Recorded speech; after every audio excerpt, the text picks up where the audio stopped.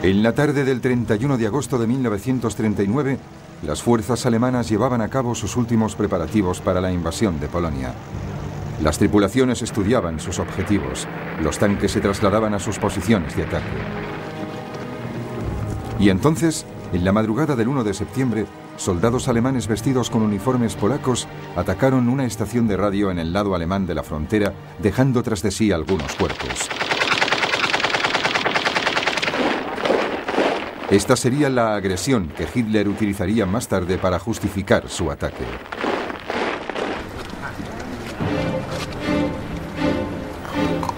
A las 8 de la mañana, aún antes de que se hubiese declarado oficialmente la guerra, tropas alemanas apartaron por la fuerza las barreras de la frontera polaca y fuerzas móviles la cruzaron velozmente. Dos días más tarde, el 3 de septiembre, Gran Bretaña y Francia declaraban la guerra a Alemania haciendo honor a su promesa de estar dispuestas a socorrer a Polonia. Pero para entonces Polonia ya estaba teniendo graves dificultades. No solo los alemanes superaban en número a los polacos, sino que estos se enfrentaban a una nueva forma de guerra para la que estaban mal preparados, la Blitzkrieg o guerra relámpago.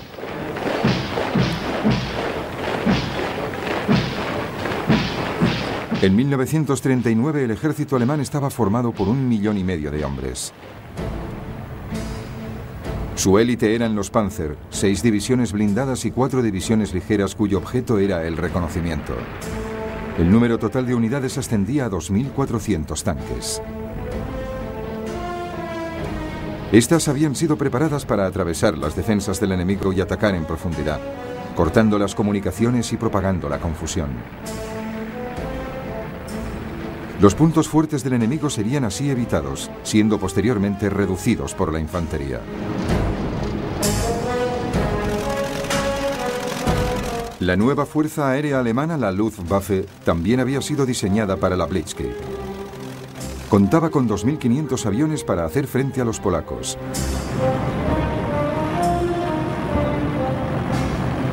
Lo más notable era el avión de bombardeo en picado Junkers JU-52 Stuka.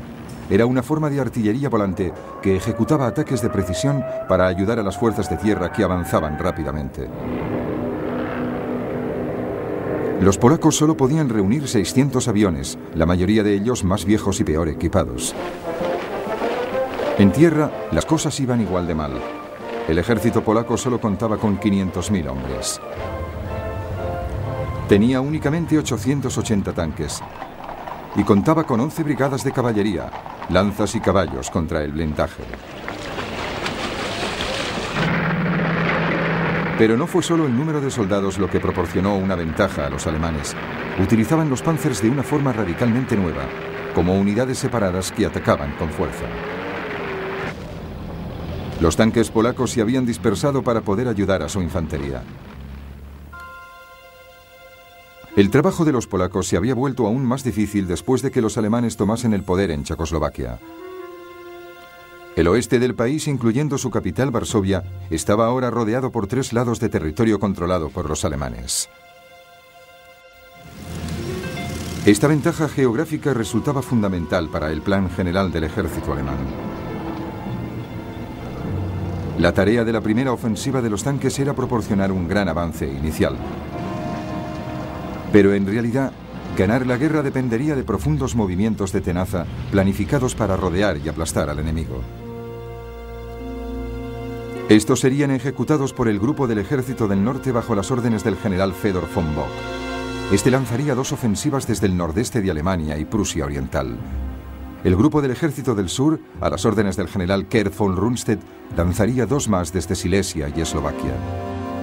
El objetivo sería que las tenazas se cerrasen cerca de Varsovia y Brest-Litovsk.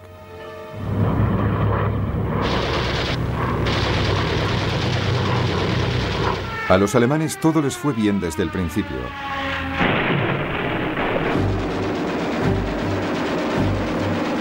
La Fuerza Aérea Polaca fue eficazmente eliminada en los dos primeros días.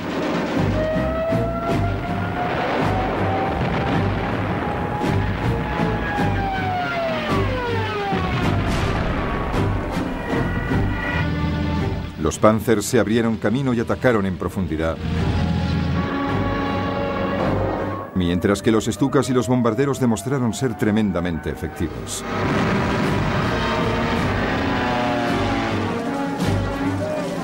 Los defensores polacos fueron divididos y separados, inmovilizados en bolsas que proporcionaron un gran número de prisioneros. La leyenda cuenta que algunas unidades de la caballería polaca intentaron valerosamente atacar a los Panzers, pero fue en vano.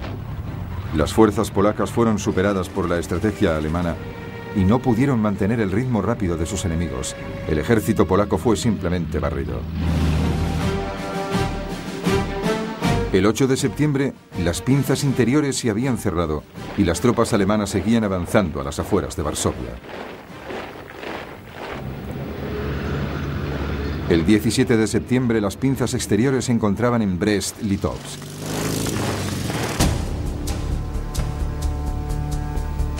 El mismo día, aprovechando el acuerdo alcanzado entre Hitler y Stalin en el Pacto Germano-Soviético en 1939, las fuerzas soviéticas cruzaban la frontera polaca oriental.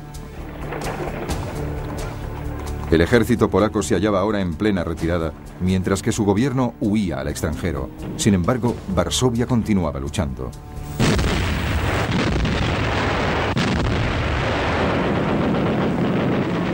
Sus defensores rechazaron la oferta alemana de rendición y como consecuencia toda la furia de la Luftwaffe y un bombardeo de la artillería cayeron sobre la ciudad.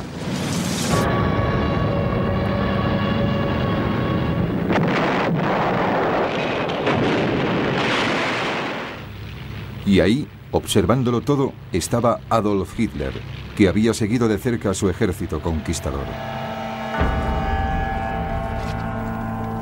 El 27 de septiembre Varsovia se rendía. Al día siguiente, los vencedores, Alemania y Rusia, dividieron Polonia de acuerdo con el pacto germano-soviético. La Unión Soviética se anexionó un poco más de la mitad del país hacia el este, Alemania se quedó con el resto.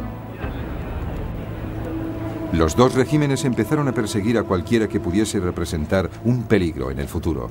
Muchas personas fueron asesinadas. Y por primera vez, los alemanes mostraron de qué forma se iban a comportar contra aquellos pueblos de la Europa del Este que consideraban inferiores. Mandaron a los Einsatzgruppen o escuadrones especiales de las SS para que llevasen a cabo redadas de judíos.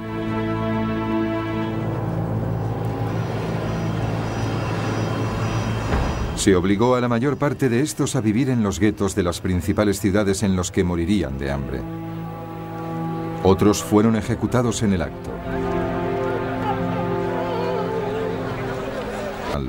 Los polacos lucharían valientemente desde el extranjero.